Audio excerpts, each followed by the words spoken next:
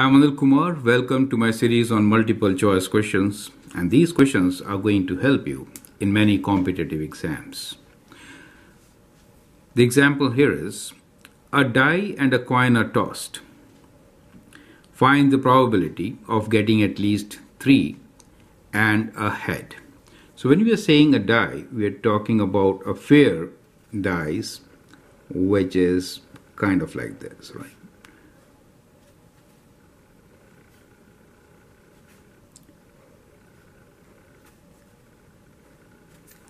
Correct? So we have a dice here. Let's say. Okay, so they are tossed. The probability of getting at least three and a head. That is what we're looking for.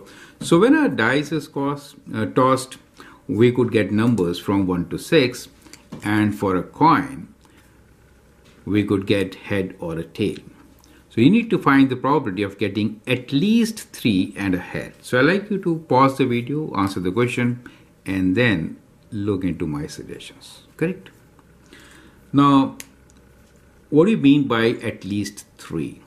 That really means that we are looking for numbers which are three, four, five, and 6. That is at least 3, right? This is what we mean when we say at least 3. Perfect. Now I think it becomes absolutely clear and you can easily find the solution. Perfect. Now there are many ways to go about. Let us uh, make a tree diagram to get to the solution.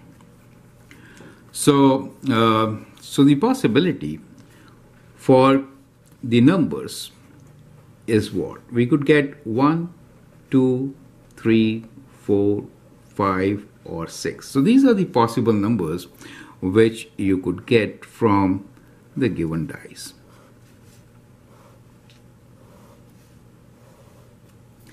And for each combination, you could either get a head or a tail, right? So for each combination, you have two possibilities.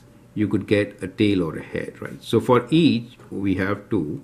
We could get tail or a head. So I hope that is absolutely clear.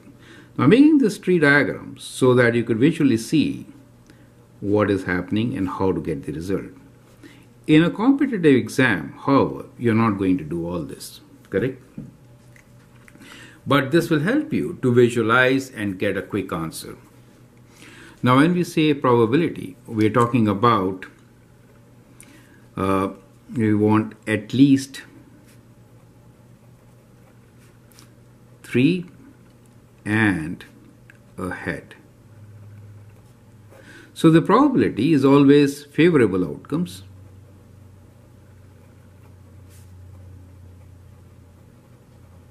over total outcomes.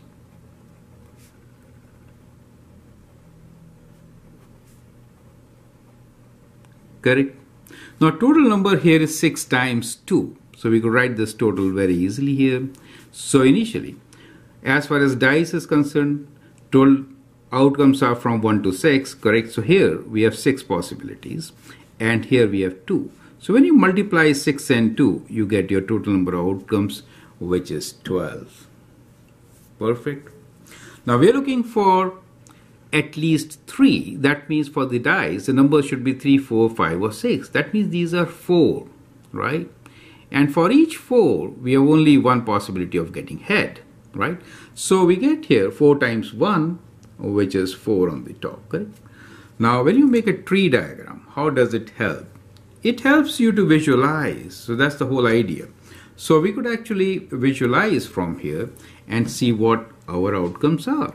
So tail, I mean 3 and head, 4 and head, 5 and head, and 6 and head. So these are the four